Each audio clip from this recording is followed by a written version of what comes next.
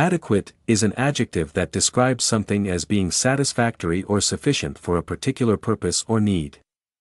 When something is adequate, it meets the minimum requirements or standards necessary to fulfill a task or achieve a desired outcome, without being exceptional or overly abundant.